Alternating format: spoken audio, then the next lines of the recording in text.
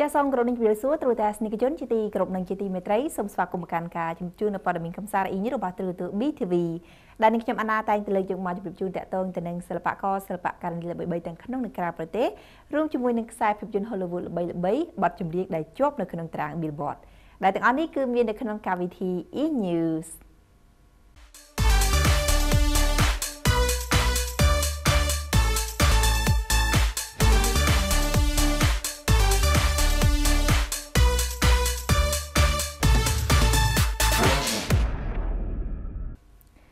ប្រិមិត្តរូតាស្និកជនជាទីគោរពនិងជាទីមេត្រីនៅក្នុងឱកាសនៃពិធីបុណ្យភ្ជុំបិណ្ឌនេះឃើញថាសម្រាប់បងប្អូនប្រជាពលរដ្ឋនៅទូទាំងប្រទេសក៏ដូចជាសិល្បករសិល្បករនេះល្បីៗជាច្រើនគឺបានអញ្ជើញទៅកាន់បិណ្ឌក៏ដូចជាយកចង្ហាន់ទៅប្រគេតព្រះសង្ឃ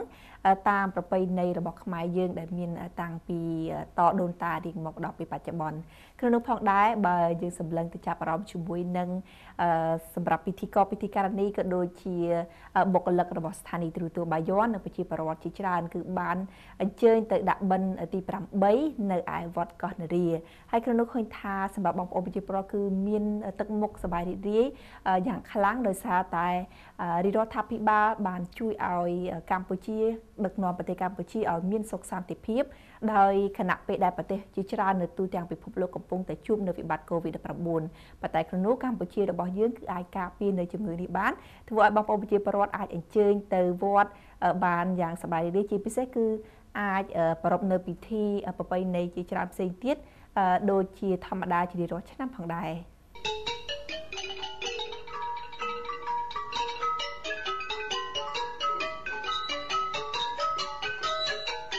កាលពីថ្ងៃទី10ខែកញ្ញាកន្លងទៅថ្មីថ្មីនេះបុគ្គលិកទូរទស្សន៍បាយ័នដែលបានដឹកនាំដោយលោកជេមូដែលជានាយកប្រតិបត្តិការតំណាងឲ្យលោកជំទាវហ៊ុនម៉ាណែតអគ្គនាយិកានៃអគ្គនាយកដ្ឋានវិទ្យុនិងទូរទស្សន៍បាយ័នរួមនឹងពុទ្ធបរិស័ទទូទៅគឺបានអញ្ជើញទៅកាន់បិណ្ឌទី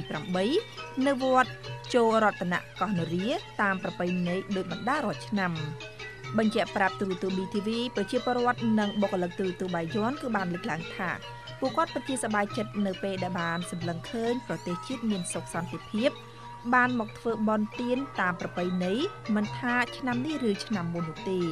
ពួកគាត់បានបន្តទីថានេះឱកាសនេះពិភពលោកកំពុងតែជួបនៅវិបត្តិធ្ងន់ធ្ងរដោយសារតែ COVID-19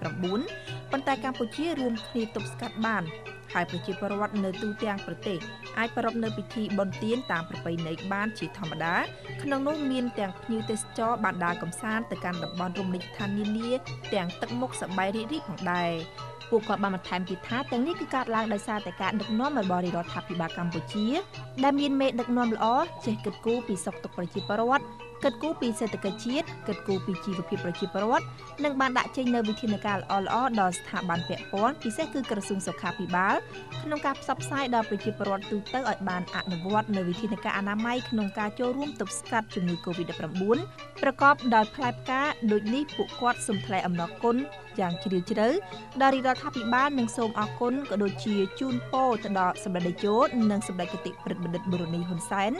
មានសុខភាពល្អដើម្បីបន្តដឹកនាំមាគ៌ាកម្ពុជាឲ្យមានសុខសន្តិភាព និងការអភិវឌ្ឍថ្មីថ្មីបន្ថែមទៀត